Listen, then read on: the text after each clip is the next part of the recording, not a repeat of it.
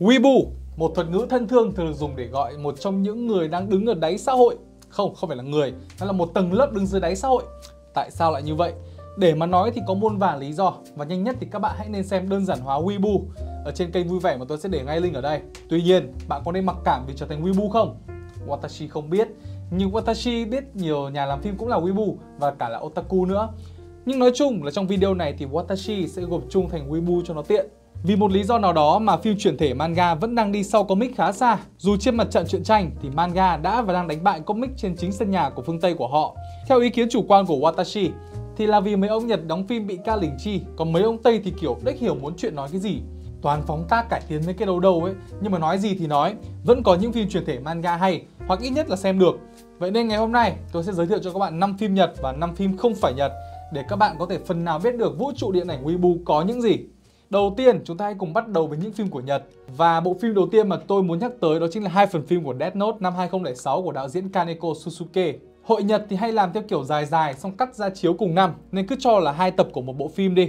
Death Note dựa trên một bộ truyện cùng tên của tác giả Oba Tsugumi và họa sĩ Obata Takeshi kể về Yagami Raito, một thanh niên với bộ não thiên tài, tình cờ nhặt được một cuốn sổ của thần chết và có khả năng giết người bằng cách ghi tên lên sổ. Ban đầu thì Raito muốn dùng sức mạnh này để thanh lọc xã hội, nhưng lâu dần thì bị thần kinh và nghĩ mình là thần thánh. Đối thủ chính của Raito chính là thám tử lừng danh L với những màn đấu trí vô cùng căng thẳng, kiểu ta đã biết mày muốn làm gì, ta đã biết là mày biết muốn tao làm gì, ta đã biết là mày biết là tao biết muốn mày làm gì. Ta đã biết là mày biết tao biết mày biết rồi thôi mệt các thôi, thôi, thôi, thôi. thằng nào viết kịch bản ấy. Trong phim thì toàn bộ nội dung lẫn nhân vật của ác cuối thì bị lược bỏ. Tuy nhiên thì kịch bản phim vẫn được triển khai rất tốt, đủ trung thành với tinh thần của truyện và twist cuối làm cũng tới, nên là sẽ không gây khó chịu cho các fanboy và điển hình là Watashi. Casting của phim thì cũng rất tốt, các vai diễn được xử lý tròn vai. Trái ngược với bản Mỹ năm 2017 của Netflix khi mà dàn cast lại là mắt xích yếu nhất. Cái bản Mỹ này thì tôi phải nói là nó là tệ hại, kinh khủng tởm. Nói chung là câu chuyện của Death Note sẽ không thể nào gói gọn trong vòng 90 phút. Vì thế mà làm thành hai phần như bản Nhật thì sẽ ok hơn. Điểm yếu của phim là CGI các tử thần khá là tệ và nhạc phim thì không được thích hợp cho lắm. Tiếp theo tôi muốn nói đến loạt phim Rurouni Kenshin của đạo diễn Otomo Keishi. Dựa trên bộ truyện cùng tên của tác giả là Watsuki Nobuhiro, lấy bối cảnh thời kỳ Minh trị tại Nhật Bản, kể về Himura Kenshin, một thích khách đã nghỉ hưu và thề không bao giờ giết người nữa và đi lang thang hành hiệp. Phần đầu của phim ra mắt vào năm 2012 dựa trên hai ạc đầu của truyện. Hai phần tiếp theo được ra mắt vào năm 2014 dựa trên phần truyện đấu với cả xác ướm Nhật Shishio Makoto. Hai phần cuối thì mới ra mắt vào năm ngoái. Nhưng mà tôi thì không thích cái đoạn này lắm nên là tôi chưa xem phim. Và ở đây thì tôi cũng sẽ chỉ nói về ba phần phim đầu tiên mà thôi. Điều đầu tiên phải nói về phim đó là rất ít kỹ xảo máy tính được sử dụng. Hầu như mọi thứ đều được xử lý bằng người thật và ôi thần linh ơi giờ này vẫn còn người làm phim kiểu đấy kìa. Tuy là vẫn còn nhiều cảnh giả chân nhưng hầu như là không đáng kể. Những màn đấu kiếm trong phim thì cứ phải gọi là hú hú khẹt khẹt. Mảng hành động của phim thì thực sự là mãn nhãn. Nếu không muốn nói là những cảnh đấu kiếm hay nhất tôi từng được xem. Hầu hết các nhân vật thì đều kiểu không bị ca lỉnh chi kiểu người Nhật ấy. Nên là người xem phổ thông như tôi thì sẽ không khó nhai lắm trừ khi là bạn muốn ngồi bắt lỗi thì thôi. Cách mà các nhân vật nói chuyện hay cử động thì đều khá tự nhiên. Nói chung là có rất ít các yếu tố anime. Nhạc phim thì cũng hay và nói chung là phim rất hay, đáng xem. Trừ cái vụ búp anh sắc ướp hơi quá lố so với chuyện thì well, phim này ok đấy. Vẫn là về một anh samurai nhưng mà từ thời Mạc Phủ, Tokugawa, đó chính là Blade of the Immortal năm 2017 của đạo diễn Mai Takashi. Dựa trên bộ truyện cùng tên của tác giả Samurai Hiroaki, tên Hán Việt của nó thì là Vô Hạn Chú Nhân. Các bạn có thể hiểu nó là người bất tử. Anh samurai của chuyện này tên là Manji và bị nguyền rủa bất tử. Phải giết 1.000 kẻ ác thì mới có thể trở lại thành người không bất tử. Tuy chuyện thì không được nổi tiếng cho lắm nhưng mà phim truyền thể thì khá là đáng để xem. Phim này thì cục xúc từ lúc bắt đầu luôn và tôi thích thế. Blade of the Immortal là phim hành động, nên là hành động phải nói tới đầu tiên. Các cảnh hành động trong phim nhiều và cực kỳ mãn nhãn, đồng thời thì được sắp xếp cũng khá là hợp lý và tối đa hóa nhịp độ của phim. Các trận đấu lớn nhỏ thì diễn ra đan xen liên tục, khiến 140 phút của phim trôi nhanh như kiểu là chó chạy ngoài đồng vậy. Tuy nhiên thì phim cũng có một số điểm yếu và đầu tiên chính là nữ chính thì nhõng nhẽo, vô dụng và hoàn toàn là chẳng đóng góp được gì cho cái câu chuyện kiểu này. Và thứ hai là khá thiếu chiều sâu, nhiều tình tiết xảy ra mà không có lối giải thích hợp lý. Có nhiều yếu tố tiềm năng mà nếu được khai thác hợp lý hơn thì có thể tạo ra được một câu chuyện thực sự là cảm động. Để cho dễ hiểu thì tôi xin gọi phim này là Black Adam phiên bản Nhật đi, bởi vì cả phim chỉ xem đánh nhau là chính thôi. Để đổi gió một chút thì tôi xin phép nói về một TV series duy nhất trong cái video này, đó chính là Dragon Sakura. Bộ phim ra mắt năm 2005 của đài TBS dựa trên bộ truyện cùng tên của tác giả là Mita Norifusa. Chuyện này thì tôi chưa đọc nên sẽ chỉ nói về phim thôi.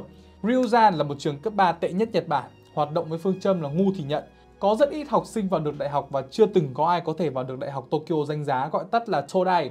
Ryuzan loser tới cái mức mà không ai muốn cho con mình vào học cả, mà kể cả có cho vào đi chăng nữa thì cũng không ai muốn nhận mình là con học trường này. Thế nên là đứng trước cái bờ vực phá sản thì một luật sư với một quá khứ trẻ trâu đã được cử đến để thu xếp đóng cửa trường. Nhưng rồi thì anh cho rằng đóng cửa trường thì không vui, nên là anh đã thuyết phục hiệu trưởng cho mình đào vàng trong đống rác, rồi mở ra một lớp học đặc biệt với mục đích là đưa năm học sinh đỗ tô đai sau một năm.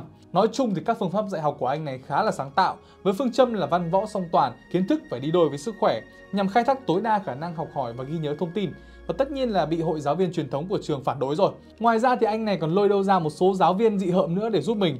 Từ cái series này thì tôi nghĩ là các bạn có thể học được khá là nhiều điều, ví dụ như kiểu là phương pháp học này, phương pháp ghi nhớ hiệu quả và sự kiên trì vượt qua mặc cảm của bản thân để mà nói về cái kết của phim này thì nó không quá viên mãn và theo tôi lý do bởi vì họ muốn tăng cái tính chân thực cho bộ phim. Có một phiên bản Hàn cho phim này có tên là Master of Study ra mắt vào năm 2010 và nó tất nhiên nó khá là hot ở Việt Nam vào thời điểm đó. Nhờ vì đã xem bản Nhật rồi nên là tôi cũng không có hứng thú lắm. Còn nếu bạn cảm thấy thích so sánh thì cũng có thể nghía qua một chút. Và phim Nhật cuối cùng của video này sẽ là về Trung Quốc.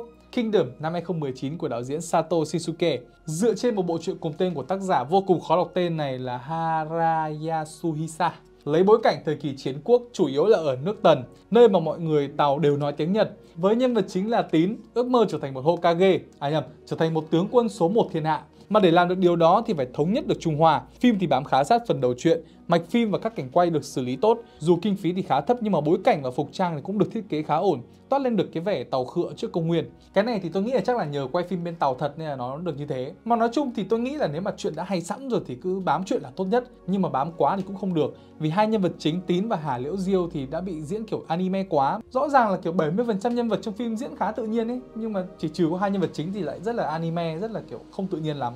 Về phần hành động thì phim làm tốt, không có gì để chê. Nhưng có một điểm trừ nữa đó chính là phim quá lạm dụng flashback, kiểu nhớ về bản thân để tăng sức mạnh nhiều quá ấy, sức mạnh hồi tưởng quá đà ấy với kiểu manga hay anime ra theo tuần thì không có vấn đề gì đâu. Nhưng mà ra trong phim chiếu rạp thì nó kiểu bị nó bị quá nhiều ấy. Và bởi vì phim dựa trên một bộ truyện chưa kết thúc nên là cái kết thì nó cũng khá là lửng lơ và mở đường cho những phần tiếp theo. À, tự chung lại thì tôi thấy Kingdom vẫn là một bộ phim tốt đáng xem. Tuy nhiên là để mà thực sự là nó hay hay không và đáng để bỏ rất nhiều thời gian ra hay không thì tôi nghĩ là không. Bây giờ thì đến với những phim không phải của Nhật đi, hay nói cách khác là những phim của những ông Weibo đúng nghĩa. Sẵn tiện đang nói về Trung Quốc thì tôi sẽ nói về Animal World năm 2018, hay còn gọi là Thế giới động vật trên VTV2. Đùa thôi, Thế giới động vật này là bộ phim của một đạo diễn tên là Hàn Diên, dựa trên bộ truyện Kaiji của tác giả là Fukumoto Nobuyuki, kể về Ito Kaiji, một tay cờ bạc cừ khôi và những sai lầm của anh ta khi đánh bạc. Thế giới động vật thì khá là khác chuyện nhưng mà vẫn đáng để nói đến, vì nhân vật chính trong phim có cảm giác dễ mến hơn là Kaiji.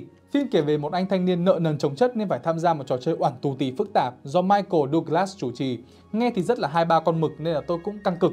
Phim này thì tôi có một cái cảm giác là nó giống phim ờ, Hollywood hơn là một bộ phim Trung Quốc. Gian cast ổn, hóa trang thì không bị kiểu uh, mặt hoa da phấn kiểu như đa số phim tàu hiện nay. Kịch bản thì cũng gọi là thông minh và cũng khá là cuốn. Điểm yếu của phim thì là mấy con quái CGI và những cảnh chiến đấu. Thực ra không phải là vì nó tệ, nó tốt là đằng khác, nhưng mà tôi có cảm giác là nó không cần thiết đối với mạch truyện và phần nào sẽ làm giảm đi giá trị của bộ phim. Theo tôi thấy là nên là một phần phim riêng dành cho mấy thứ đó thì tốt hơn. Nhìn chung thì phim vẫn tốt và một số lỗi thì đều có thể chấp nhận được. Ngay bây giờ, chúng ta hãy cùng nhảy sang với Hàn Quốc để cùng nhau đến với một bộ phim khác. Bộ phim tiếp theo là một bộ phim của Hàn Quốc mang tên là Sắc đẹp ngàn cân, ra mắt vào năm 2006. Dựa trên một bộ truyện nổi tiếng của tác giả Suzuki Yumiko, tôi thì cũng chưa đọc truyện này nên sẽ chỉ nói về phim thôi. Đã tạo nên một bộ phim hay mà không cần tuân theo những công thức tiêu chuẩn của các bộ phim rom-com thông thường. Đúng hơn là tạo ra chuẩn mực mới luôn cho nó cẩn thận. Chuyện phim thì đơn giản là cô bé lọ lem thời hiện đại. Nhân vật chính là Hana, một cô ca sĩ với vẻ ngoài nặng ký theo đúng nghĩa đen. Và cũng giống tôi luôn, nếu mà cô may mắn được sinh ra tại Mỹ những năm gần đây thì có thể đã trở thành một hot girl rồi. Nhưng mà đáng tiếc thay cô lại là người Hàn cho nên là phải đứng hát cho hậu trường, trong khi một bình bông trẻ đẹp hơn đứng ngoài hát nhép. Lâu dần thì Hana bắt đầu trầm cảm và đi phẫu thuật trở thành một idol kiểu mẫu, nhưng cô lại đánh mất chính mình và trở thành phản diện của chính bản thân. Phim này thì không phải là kiểu chọc cười thô thiển mà có được cái sự hài hước một cách tinh tế hơn. Kịch bản và diễn xuất thì cũng được xử lý hoàn chỉnh. Nhạc phim thì cũng hay, phim về idol mà. Nói chung, nếu bạn là fan của một dòng phim rom-com thì Sắc đẹp ngàn cân chính là bộ phim phải xem. Bộ phim tiếp theo mà tôi muốn nói tới đó chính là Old Boy, dựa trên Old Boy của tác giả tên là Tsuchiya Garong. Bộ phim kể về một người đàn ông đã ở tù chục năm, bất ngờ được thả ra và quyết định đi tìm những kẻ chủ mưu đã bắt giữ mình. Phiên bản Mỹ của Old Boy thì cũng khá hay và bạn có thể xem nếu như bạn muốn thấy Thanos cùng với Scarlet Witch làm gì đấy. Nhưng mà ở đây thì tôi sẽ chỉ nói về phiên bản Hàn Quốc năm 2003. Old Boy có một câu chuyện vô cùng kỳ lạ khiến bạn không thể chắc chắn được điều gì đang thực sự diễn ra. Đây là một bộ phim à, ảm đạm, đen tối, có một khởi đầu tốt và giữ được phong độ xuyên suốt phim. Park Chan Wook là một đạo diễn giỏi và xử lý mọi thứ rất tốt. Dàn Cast cũng là một điểm sáng của phim. Còn về câu chuyện của phim thì như đã nói, nó hay, kịch bản phim xuất sắc đủ để khiến bạn ngạc nhiên tới cảnh cuối cùng. Cho đến ngày nay thì plot twist đã không phải là một cái gì quá xa lạ với những người nghiền xem phim như tôi rồi. Nhưng Oh Boy thì có một trong những cái twist sốc nhất mà tôi từng thấy luôn. Thật đấy. Một câu chuyện tuyệt vời được kể theo một cách thông thả, không vội vàng, với những nét siêu thực xen kẽ tởm lợm và bạo lực. Đây thực sự có thể coi là một kiệt tác điện ảnh mà nếu không có gì thay đổi thì tôi sẽ làm riêng một video về nó trong tương lai. Và điểm cuối của video sẽ là nước Mỹ. Một trong số ít những phim Hollywood làm tốt khi mà chuyển thể từ manga. Bộ phim mà tôi đang nhắc tới đó chính là Alita, Battle Angel năm 2019 của đạo diễn Robert Rodriguez.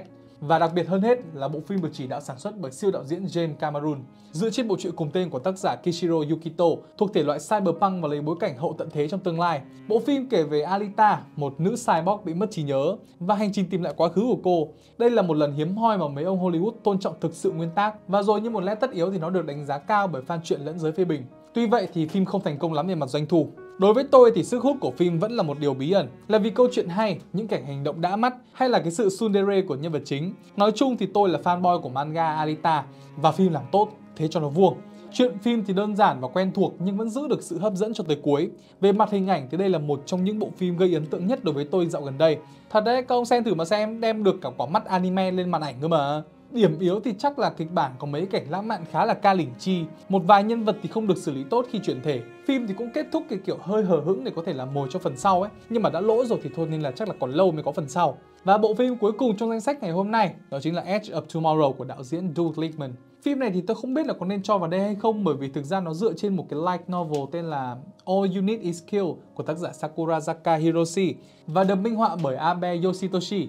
Bản manga thì được viết bởi Ryosuke và được vẽ bởi Obata Takeshi và ra cùng năm với phim luôn nên là cũng không hẳn là bộ phim chuyển thể từ manga nhưng mà thôi thì vẫn coi là một phim wibu.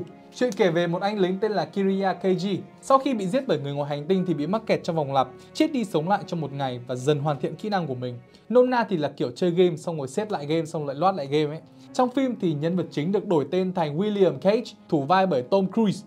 Nữ chính thì được thủ vai bởi Emily Blunt nên là dàn cast này cứ phải gọi là bom tấn. Các cảnh hành động của phim thì cũng khá là tuyệt vời, kịch bản cũng hoàn chỉnh và đủ funny. Edge of Tomorrow sẽ là một bộ phim mà khiến bạn sẽ cười khúc khích rồi dần dần là bạn sẽ cười sái ở quai hàm dù nó không phải là phim hài luôn. Đây có thể coi là một bộ phim Hollywood mà tôi thích nhất trong những năm dạo gần đây và có thể nói đây là một bộ phim chuẩn mực trong việc xây dựng nhân vật nữ quyền làm sao để cho người ta không ghét. Và trên đây là 10 bộ phim trong vũ trụ điện ảnh Weibo mà tôi cho là rất đáng xem. Vẫn còn khá nhiều bộ phim khác được nhắc đến mà tạm thời tôi không thể nhớ ra tên. Tất nhiên là trong danh sách này thì không kể đến những siêu phẩm như kiểu là Dragon Ball Evolution hay là Fullmetal Alchemist. Những siêu phẩm tôi vừa kể tên thì tôi khuyên là các bạn cũng không nên xem làm gì. Kiểu sang chấn tâm lý thì lúc đấy lại bắt đầu trách tôi. Để kết thúc video này, tôi rất mong chờ vào một tương lai tươi sáng hơn cho dòng phim truyền thể manga vì rõ ràng đây là một mỏ vàng dành cho các nhà làm phim luôn. Ok, và đó là toàn bộ những gì có trong video ngày hôm nay. Nếu thấy hay thì đừng quên nhấn like và subscribe cho các kênh thuộc hệ thống của The Reviewer và nhấn like video này để chúng tôi có thêm động lực để ra thêm những video khác tốt hơn. Một lần nữa, tôi là Anh Xá. Chúc các bạn có một ngày xanh lá.